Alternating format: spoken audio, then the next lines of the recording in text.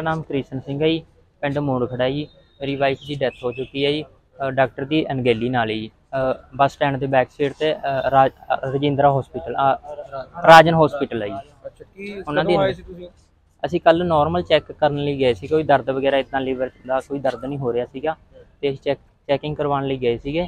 ਉਹਨਾਂ ਨੇ ਚੈਕਿੰਗ ਕੀਤੀ ਚੈਕਿੰਗ ਕਰਦੇ ਹੋਏ ਉਹਨਾਂ ਨੇ ਦਵਾਈ ਰੱਖਤੀ ਆ ਠੀਕ ਆ ਕਹਿੰਦੇ ਅੱਜ ਹੀ ਸ਼ਾਮ ਨੂੰ ਹੋ ਜਾਏਗਾ। ਡਿਲੀਵਰੀ ਦਾ ਟਾਈਮ ਅਲਟਰਾਸਾਊਂਡ ਤੇ ਹੈਗਾ 2:07 ਦਾ ਸੀਗਾ ਜੀ। ਤੇ ਉਹਨਾਂ ਨੇ ਦਵਾਈ ਰੱਖਤੀ ਕਹਿੰਦੇ ਸ਼ਾਮ ਤੱਕ ਹੋ ਜਾਊਗਾ। ਅਸੀਂ ਹਸਬੈਂਡ ਔਰ ਵਾਈਫ ਦੋਨੋਂ ਗਏ ਹੋਏ ਸੀਗੇ ਜੀ। ਸਾਡੇ ਨਾਲ ਕੋਈ ਹੈ ਨਹੀਂ ਸੀ ਫਿਰ ਉਹਨਾਂ ਨੂੰ ਮੈਂ ਪੋਜੀਸ਼ਨ ਦੱਸੀ ਵੀ ਇਦਾਂ ਇਦਾਂ ਸਾਡੇ ਕੋਲ ਪੈਸੇ ਨਹੀਂ ਹੈਗੇ ਤੇ ਕੋਈ ਲੇਡੀਜ਼ ਮੈਂਬਰ ਨਹੀਂ ਹੈਗਾ। ਅਸੀਂ ਘਰ ਚਲੇ ਜਾਈਏ ਉਸ ਤੋਂ ਬਾਅਦ ਅਸੀਂ ਆ ਜਾਾਂਗੇ ਜੀ। ਤੇ ਘਰ ਜਾਣ ਦੀ ਬਲੀਡਿੰਗ ਹੋਣ ਲੱਗ ਗਈ ਆ ਤੇ ਲੱਤਾਂ ਕੰਬਣ ਲੱਗ ਗਈਆਂ ਤੇ ਫਿਰ ਅਸੀਂ ਹਸਪੀਟਲ ਲੈ ਆਏ। ਅਸੀਂ 5-6 ਦੇ ਵਿੱਚ ਅਸੀਂ ਉੱਥੇ ਆ ਗਏ ਹਾਂ। ਹਸਪੀਟਲ ਆ ਗਿਆ।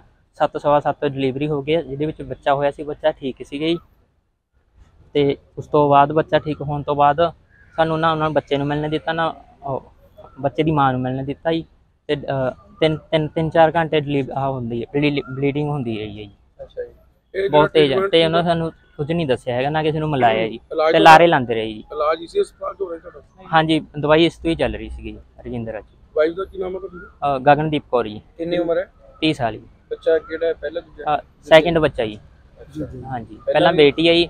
ਸੈਕਿੰਡ ਬੇਬੀ ਹੈ ਡਿਲੀਵਰੀ ਹੋਈ ਸੀ ਜਿਹੜੀ ਡਿਲੀਵਰੀ ਹੋਈ ਸੀ ਜੀ। ਪਰ ਨਾਰਮਲ ਹੋਈ ਹੈ ਜੀ। ਨਾਰਮਲ ਹੋਈ। ਹਾਂਜੀ ਤੇ ਉਹਨਾਂ ਤੋਂ ਮਤਲਬ ਬਲੀਡਿੰਗ ਬਹੁਤ ਜ਼ਿਆਦਾ ਹੋ ਰਹੀ ਸੀ 3-4 ਘੰਟੇ ਤੋਂ ਆ ਰਹੀ ਸਾਨੂੰ ਕੁਝ ਨਹੀਂ ਉਹਨਾਂ ਨੇ ਦੱਸਿਆ ਕੀ ਸ਼ੱਕ ਕੀ ਹੈਗਾ ਹਾਂਜੀ ਉਹਨਾਂ ਦੀ ਨਗੇਲੀ ਤੇ ਪੂਰਾ ਸ਼ੱਕ ਹੈ ਜੀ। ਤੁਸੀਂ ਪੁੱਛਿਆ ਨਹੀਂ ਅਸੀਂ ਪੁੱਛਿਆ ਸੀਗਾ ਉਹ ਕਹਿੰਦੇ ਉਹ ਖੁਦ ਇਦਾਂ ਕਹਿ ਰਹੇ ਸੀ ਕਿ ਸਾਨੂੰ ਤਾਂ ਖੁਦ ਨਹੀਂ ਪਤਾ ਲੱਗ ਰਿਹਾ ਜੀ। ਤੇ ਉਹਨਾਂ ਨੇ ਕਿੱਥੇ ਕੀਤਾ ਫਿਰ? ਰਜਿੰਦਰਾ ਕੀਤਾ ਸੀਗਾ ਜੀ। ਉੱਥੇ ਜਾਂਦੀ ਡੈਡ ਡੈਡ ਹੋ ਗਈ ਜੀ। ਤੁਸੀਂ ਨਾਲ ਆਏ ਸੀ ਰਜਿੰਦਰ? ਹਾਂਜੀ ਮੈਂ ਨਾਲ ਆਇਆ ਸੀ ਜੀ। ਅੱਛਾ ਉਹ ਡਾਕਟਰ ਦਾ ਦੀ ਕੋਈ ਟੀਮ ਆਈ ਸੀ ਨਾ? ਡਾਕਟਰ ਦੇ ਆਏ ਨਹੀਂ ਸੀ ਉਹਨਾਂ ਨੂੰ ਜ਼ਬਰਦਸਤੀ ਲੈ ਕੇ ਆਏ ਸੀਗੇ ਜੀ। ਫਿਰ ਉਹਨਾਂ ਨੇ ਕਮਰੇ ਦੇ ਐਂਟਰ ਕਰਦੇ ਸਾਰੀ ਪਤਾ ਨਹੀਂ ਕਿੱਧਰ ਚਲੇ ਗਏ ਜੀ। ਅਸੀਂ ਉਹਨਾਂ ਨੂੰ ਰੋਕਿਆ ਵੀ ਸੀਗਾ ਵੀ ਵੀਰੇ ਰੁਕ ਜਾਓ ਤੁਹਾਡਾ ਕੋਈ ਉਹ ਨਹੀਂ ਵੀ ਸਾਡੀ ਹੈਲਪ ਕਰਵਾ ਕੇ ਜਾਇਓ ਸੀਰੀਅਸ ਆ ਕੇਸ ਆ। ਉਹਨਾਂ ਨੇ ਕੁਝ ਨਹੀਂ ਸਾਡੀ ਮੰਨੀ ਹੈਗੀ। ਉਹ ਜਦ ਹੀ ਨਿਕਲ ਗਏ। ਇਹਦੀ ਕੋਈ ਕੰਪਲੇਂਟ ਕੀਤੀ ਹੈ? ਕੰਪਲੇਂਟ ਕੀਤੀ ਹੈ ਜੀ ਐਫ ਆਈ ਦਰਜ ਕਰਵਾਈ ਹੈ ਜੀ। ਕਿਹੜੇ ਥਾਣੇ 'ਚ? ਬਖਸ਼ੀ ਵਾਲੀ। ਸਾਨੂੰ ਬਖਸ਼ੀ ਵਾਲਾ ਥਾਣਾ ਲੱਗਦਾ ਜੀ। ਕੀ ਮੰਗ ਕੀ ਕਰਦੇ ਹੋ? ਸਾਨੂੰ ਇਨਸਾਫ ਚਾਹੀਦਾ ਜੀ। ਮਾਮਲਾ ਇਹ ਸੀਗਾ ਸਾਡੇ ਪਿੰਡੋਂ ਲੜਕੀ ਸੀ ਗਗਨਦੀਪ ਕੌਰ। ਜੀ। ਠੀਕ ਹੈ ਪਿੰਡ ਦੀ ਨੂੰਹ ਸੀ ਸਾਡੇ। ਤੇ ਉਹ ਰੁਟੀਨ ਦੇ ਵਿੱਚ ਪਹਿਲਾਂ ਵੀ ਟ੍ਰੀਟਮੈਂਟ ਚੱਲਦਾ ਸੀਗਾ ਬੱਚਾ ਹੋਣ ਵਾਲਾ ਸੀ ਉਹਨਾਂ ਦਾ। ਉਸ ਤੋਂ ਬਾਅਦ 2 ਕੁ ਮਹੀਨੇ ਇਹਨਾਂ ਨੇ ਟ੍ਰੀਟਮੈਂਟ ਮਾਡਲ ਟਾਊਨ ਤੋਂ ਕਰਵਾਇਆ ਕਿਉਂਕਿ ਬੱਚੀ ਸਰਵਿਸ ਕਰਦੀ ਸੀ ਆਈਸੀਸੀਆਈ ਬੈਂਕ ਦੇ ਵਿੱਚ ਚੰਡੀਗੜ੍ਹ। ਵੀ ਉਧਰੋਂ ਚਲੋ ਰਿਲੀ ਛੁੱਟੀ ਰਿਲੀਵ ਹੋ ਜੂਗੀ ਹਨਾ ਉਹਦੇ ਕਰਕੇ। ਉਸ ਤੋਂ ਬਾਅਦ ਉਹ ਜਿਹੜੀ ਮੈਡਮ ਸੀ ਉੱਥੇ ਨਹੀਂ ਪਹੁੰਚੀ। ਆਪ ਛੁੱਟੀ ਤੇ ਗਈ ਹੋਈ ਸੀ ਵੀ 26 27 ਤਰੀਕ ਨੂੰ ਆਊਗੀ ਵਾਪਸ। ਇਹਨਾਂ ਨੇ ਕੀਤਾ ਹੀ ਪਹਿਲਾਂ ਇਹਨਾਂ ਤੋਂ ਰੂਟੀਨ ਚ ਚੱਲਦਾ ਸੀ ਕਿ ਚਲੋ ਉੱਥੇ ਜਾਇਆ ਉਹਨੂੰ ਚੈੱਕਅਪ ਕਰਵਾਉਣ। ਜਦ ਕਿ ਰਿਪੋਰਟਾਂ ਦੇ ਮੁਤਾਬਕ 2 ਮਈ ਦੀ ਸੌਰੀ 2 ਜੁਲਾਈ ਦੀ ਉਹਨਾਂ ਦੀ ਜਿਹੜਾ ਬੱਚਾ ਹੋਣਾ ਸੀ, ਡੇਟ ਸੀ।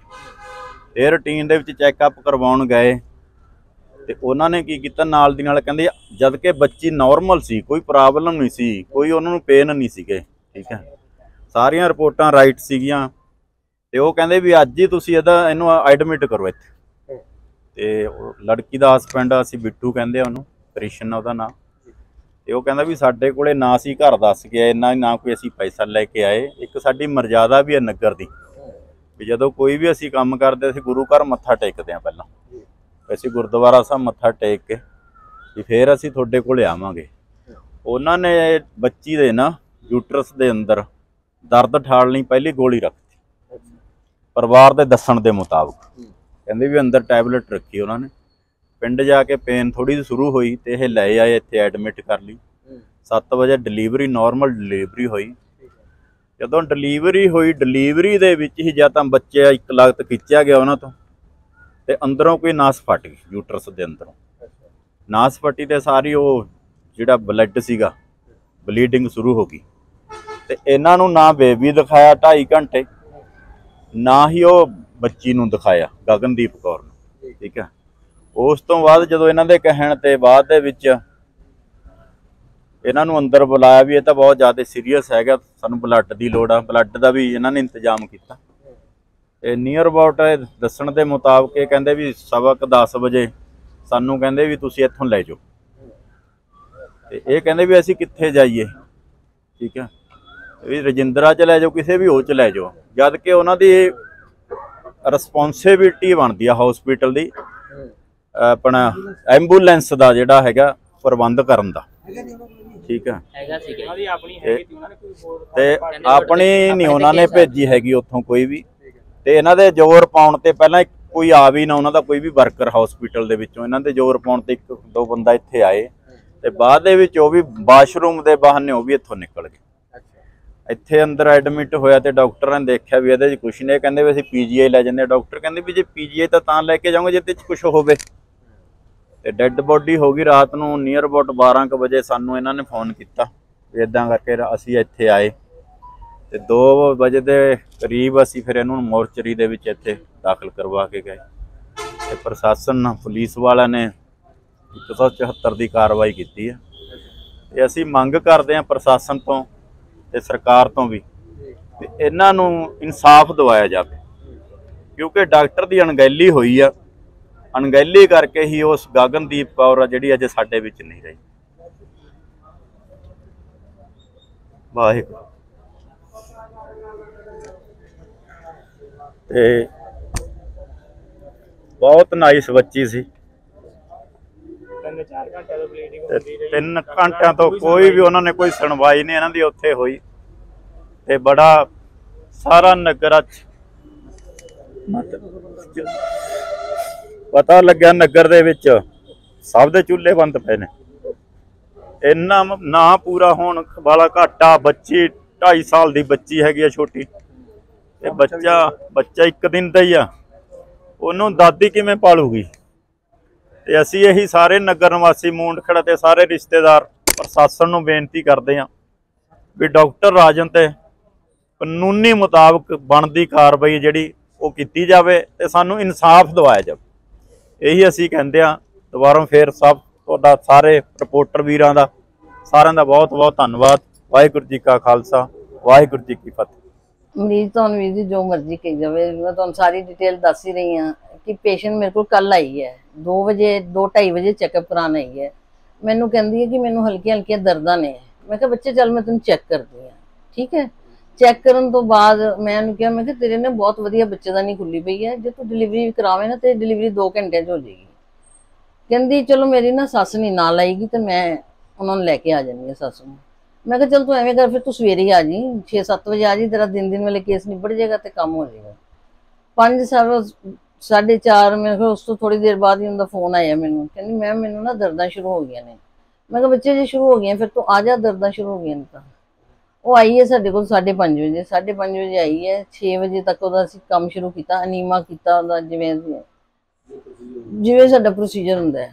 ਤੇ ਸਹੀ ਸਵਾ ਸੱਤ ਵਜੇ ਡਿਲੀਵਰੀ ਹੋ ਗਈ ਇਹਦੇ ਚ ਕੋਈ ਜ਼ਬਰਦਸਤੀ ਵਾਲੀ ਨਹੀਂ, ਜ਼ਬਰਦਸਤੀ ਥੋੜੀ ਨਾ ਇੰਨੀ ਜਲਦੀ ਡਿਲੀਵਰੀਆਂ ਹੋ ਜਾਂਦੀਆਂ ਉਹਨਾਂ ਦਾ ਕਹਿਣਾ ਕਿ ਚੈੱਕਅਪ ਚਾਹੀ ਸੀ, ਕੋਈ ਪ੍ਰੋਬਲਮ ਨਹੀਂ ਸੀ? ਪਰ ਤੁਹਾਡੇ ਵੱਲੋਂ ਕੋਈ ਦਵਾਈ ਦਿੱਤੀ ਗਈ ਜਿਸ ਉਹ ਤਾਂ ਸਾਰੀ ਦੁਨੀਆ ਦਿੰਦੀ ਹੈ ਡਾਕਟਰ ਸਾਹਿਬ ਜੀ। ਮਤਲਬ ਉਹਨਾਂ ਨੇ ਕਿਹਾ ਵੀ ਤੁਹਾਨੂੰ 2 ਘੰਟੇ ਬਾਅਦ ਦੱਸਿਆ ਹੈਗਾ ਤੁਹਾਡੇ ਮਰੀਜ਼ ਦੀ। ਨਹੀਂ ਜੀ ਨਹੀਂ ਐਵੇਂ ਕਿਵੇਂ ਹੋ ਸਕਦਾ ਦੱਸੋ? ਮੈਂ ਤੁਹਾਨੂੰ ਦੱਸਦੀ ਆ ਡਿਲੀਵਰੀ ਹੋਣ ਤੋਂ ਬਾਅਦ ਘੰਟਾ ਡੇਢ ਤਾਂ ਸਾਨੂੰ ਲੇਬਰ ਰੂਮ 'ਚ ਲੱਗਦਾ ਹੀ ਹੈ ਨਾ ਕਿ ਨਹੀਂ ਲੱਗਦਾ ਜੀ? ਸਟਿਚ ਕਰਨੇ ਪੇਸ਼ੈਂਟ ਦਾ ਬੀਪੀ ਹੈ ਸਾਰਾ ਕੁਝ ਕਰਨਾ ਹੈ। ਸਵਾ ਅੱਠ ਵਜੇ ਮੈਂ ਬਾਹਰ ਆ ਗਈ ਹਾਂ ਸਵਾ ਅੱਠ ਵਜੇ ਮੈਂ ਬਾਹਰ ਆ ਕੇ ਮੇਰੀ ਓਪੀਡੀ ਪੂਰੀ ਇੱਥੇ ਪਈ ਹੋਈ ਸੀਗੀ।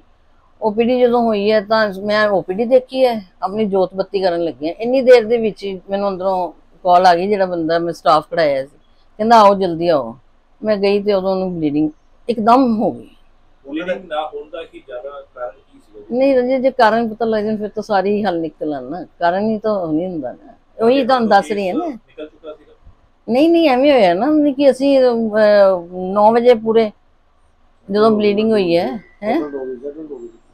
ਸੈਟਲ ਕਰਨਾ ਹੀ ਸੀ ਨਾ ਅਸੀਂ। ਸਾਨੂੰ ਨਹੀਂ ਪਤਾ ਸੀ ਵੀ ਉਹਨੂੰ ਬਲੀਡਿੰਗ ਫਿਰ ਦੁਬਾਰਾ ਹੋ ਜਾਏਗੀ। ਜੋ ਦੁਬਾਰਾ ਹੋਈ ਹੈ, ਫਿਰ ਅਸੀਂ ਭੇਜ ਦਿੱਤਾ। With in 1 N R half N R ਉਹ ਉਹਨਾਂ ਕਹਿੰਦੇ ਕਹਿਣਾ ਹੈ ਕਿ ਡਾਕਟਰ ਦੀ ਲਾਪਰਵਾਹੀ ਰਹੀ ਹੈ ਕਿਤੇ। ਤੁਸੀਂ ਕੀ ਕਹੋਗੇ ਇਸ ਬਾਰੇ? ਡਾਕਟਰ ਡੂਇੰਗ ਦਾ ਬੈਸਟ ਹੁਣ ਤਾਂ ਸਾਰੀ ਕਹਿੰਦੇ ਇੱਕ ਹੋਰ ਚੀਜ਼ ਕਹੀ ਉਹਨਾਂ ਨੇ ਕਿ ਜਦੋਂ ਮਰੀਜ਼ ਸ਼ਿਫਟ ਕੀਤਾ ਗਿਆ ਤਾਂ ਕੋਈ ਡਾਕਟਰ ਨਾਲ ਸੀ ਨਹੀਂ। ਲੇਕਿਨ ਜਦੋਂ ਐਡਮਿਟ ਹੋ ਗਏ ਤਾਂ ਉਹ ਫਰਾਰ ਹੋ ਗਏ। ਨਹੀਂ ਫਰਾਰ ਨਹੀਂ ਹੋਏ। ਉਹਨਾਂ ਨੇ ਉੱਥੇ ਕਰਨਾ ਵੀ ਕੀ? ਉੱਥੇ ਸਾਰੀ ਫਾਈਲ ਬਣਵਾ ਕੇ ਆਏ। ਸਾਰਾ ਕੁਝ ਕਰਾ ਕੇ ਆਏ ਉੱਥੇ ਟੈਸਟ ਕਰਵਾ ਕੇ ਆਏ। ਉੱਥੇ ਇਹਨਾਂ ਦਾ ਤਾਂ ਕੋਈ ਕੰਮ ਹੀ ਨਹੀਂ ਸੀਗਾ ਨਾ ਕੀ ਕੰਮ ਸੀਗਾ ਤੁਸੀਂ ਆਪ ਦੱਸੋ।